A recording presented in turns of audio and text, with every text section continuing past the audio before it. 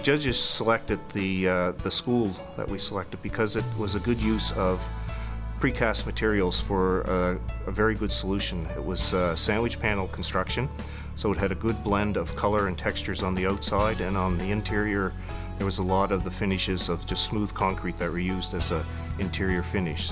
It allowed for quick construction to meet the school board's uh, timeline and it also provided a good energy efficiency. The, the sandwich, precast sandwich panel uh, enabled the building to get a LEED gold certification which was, was good.